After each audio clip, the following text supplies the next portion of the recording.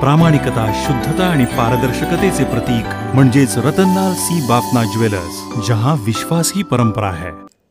पर्यावरणाचा ऱ्हास थांबवून वसुंधरा मातेला जैवविविधतेने वैभव संपन्न करणे प्रत्येक नागरिकाचे आद्य कर्तव्य असते. असे प्रतिपादन सहाय्यक गटविकास अधिकारी मंजुश्री गायकवाड यांनी केले. जिल्हा परिषद केंद्र शाळा असोदा येथे शनिवारी वसुंधरा अभियान अंतर्गत आयोजित कार्यक्रमात अध्यक्षीय मार्गदर्शन करताना गायकवाड बोलत होत्या. कार्यक्रमास प्रमुख अतिथी कक्ष अधिकारी आबेदा तळवी शिक्षण विस्ताराधिकारी प्रतिमा सानप असोदा केंद्र प्रमुख भगवान वाघे मुख्याध्यापिका सुनीता कोळी उपस्थित होते. पक्षी अधिकारी आबेदा तळवी मार्गदर्शनात म्हणाल्या की पर्यावरण व प्रगतीचा समतोल साधणे काळाची गरज आहे अन्यथा पृथ्वीचा विनाश अटळ आहे.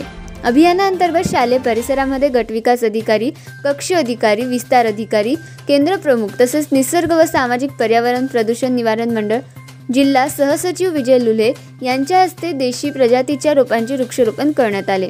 अभियानांतर्गत रोपांचे वृक्षारोपण करण्यात आले. अभियानांतर्गत घेतलेल्या रांगोळी स्पर्धेतील विजेत्या विद्यार्थ्यांना मुख्याध्यापिका सुनीता कोळी व विजय लुले प्रायोजित रोख ते मान्यवरांच्या हस्ते देण्यात आली.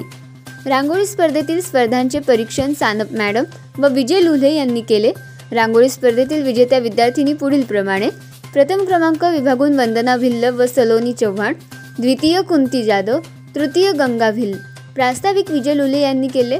नरेंद्र जगताप यांनी उपस्थितांची पर्यावरण प्रतिज्ञा घेतली. रांगोळी स्पर्धेसाठी योगिनी सोनवणे व रेखा डाळवाले नरेंद्र जगताप यांनी सहकार्य केले. सूत्रसंचालन अर्चना गरुड व आभार सोनल महाजन यांनी मानले. जळगावून धर्मेंद्र राजपूत सोबत आनंद शर्मा इंडिया आपतक न्यूज मराठी.